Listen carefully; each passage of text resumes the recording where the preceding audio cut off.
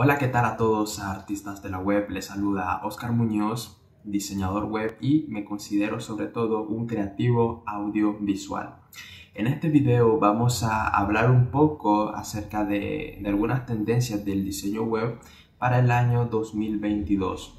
Son bloques de contenido, de ilustraciones, eh, o mejor dicho, de diseño que han tenido una relevancia aparente en estos últimos dos o tres años, pero para el 2022 va a ser un año de muchas tendencias, la verdad, son bastantes, y que van a venir bastante bien para nuestros proyectos propios y también para las web de nuestros clientes. Además que te compartiré algunos ejemplos y también recomendaciones para implementarlas de la mejor forma posible. En definitiva, si te gusta el contenido que yo hago, te sugiero y te invito a que te suscribas, deles al botón de me gusta, dejes comentario y lo compartas, que eso realmente me ayuda bastante y es la mejor forma que puedes hacer de apoyarme de forma gratuita. Así que dicho todo esto, comencemos. El término Hero o Top Hero es muy usado en el diseño web. Se utiliza para describir el banner principal de una página. Por norma general se suele usar imágenes cabeceras combinadas con texto y video, pero últimamente se ha utilizado fondos de colores y únicamente texto y es que un buen diseñador es capaz de crear conceptos utilizando pocos elementos, en este caso colores, texto y tamaño. Esta es una tendencia que ya se ha visto en años anteriores, pero ha estado creciendo y seguirá utilizándose en todos los futuros diseños. Para ser un buen top hero tipográfico, recomiendo trabajar muy bien la paleta de colores, elegir una buena combinación de tipografías y tamaños, pero sobre todo lo más importante es el copywriting o en otras palabras, el contenido del texto. este debe ser capaz de llamar la atención del usuario para que navegue por más tiempo en el sitio web. Los vectores e ilustraciones están tomando mucha relevancia. Esto es una buena noticia porque tenemos más recursos visuales para comunicar un mensaje en una web.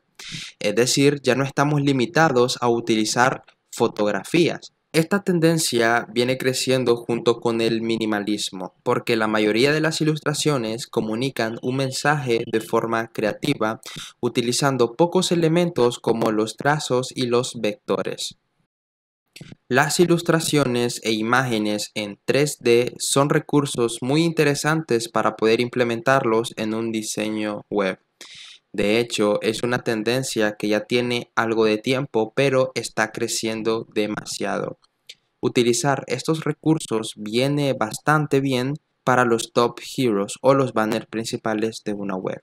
Yo sugiero no abusar de estas ilustraciones e imágenes. Puedes combinar ilustraciones 2D y 3D. Las máscaras de imágenes son una forma creativa para diseñar imágenes combinando trazos, figuras geométricas y colores. Se han vuelto muy populares por el resultado obtenido y es que son bastante atractivas para los ojos de los usuarios, que es el deseo de todo creador de sitio web, es decir, que los usuarios naveguen por más tiempo en nuestras web.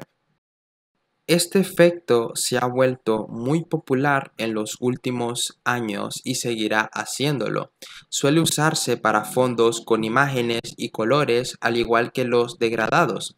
No hay que abusar de ellos y también se necesita práctica para poder hacerlos perfecto. Esta es una tendencia que lleva varios años de hecho y lo seguirá siendo por muchos más. Y la razón de todo es entender las necesidades de los clientes. Muchas personas quieren una web como escaparate digital, que por cierto es la mejor opción, pero sobre todo este tipo de web viene bien cuando se trata de un cliente que quiere algo muy sencillo y sobre todo algo rápido. Por lo tanto, como diseñadores y desarrolladores de la web, podemos ofrecer esta alternativa. Los sitios web progresivos son una tendencia y plantea una buena alternativa para muchas empresas digitales. Esto es porque mantener una app es muy complicado y requiere mucha inversión de marketing para hacer un negocio rentable. En cambio, una web no requiere tal inversión comparado con una aplicación y es mucha más sencilla de mantener. Si tu sitio web tiene algún tipo de aplicación o funcionalidad importante, puedes considerar el hacerlo progresivo, que se muestre como icono en el celular del usuario y pueda acceder a toda la información. Esta es una tendencia que yo he visto a lo largo de un año aproximadamente y le llamo Web App Design. Esto significa diseñar una web como si fuese una aplicación. Todas las web tienen un patrón similar a una aplicación y estas tienen una gran experiencia de usuario y además que es muy interesante. Esto lo he visto principalmente en tiendas online pero tampoco significa que debamos de diseñar una web como si fuese 100% una app nativa, pero aplicar algunos de los elementos de la interfaz de las aplicaciones viene bastante bien para nuestras webs. Yo te recomiendo utilizarlo de forma esporádica y muy casual. Las animaciones siempre han brindado a los sitios web interacción. Existen de todo tipo, pero yo le agrego la palabra inteligente nuevamente, pero esto es porque muchos diseñadores o desarrolladores le agregan animaciones innecesarias y que no tienen ninguna función estética, es decir, poner animaciones sin ninguna razón. Entonces, ¿cómo utilizar una animación? La respuesta es cuando queremos llamar la atención del usuario y las animaciones necesarias para esta labor son las típicas de arriba, abajo, derecha e izquierda y fade. Todas las animaciones deben tener una velocidad suave y he aquí algunos ejemplos. Los pies de página o footers han evolucionado bastante en el diseño web ahora nos ofrecen más información del sitio web y como diseñadores debemos prestarle más atención a los pies de página. En lo personal, yo me he visto atrapado leyendo la información de varias páginas. Todo esto significa que diseñando buenos pies de páginas van a atrapar al usuario y conocerán más acerca de la marca del sitio web.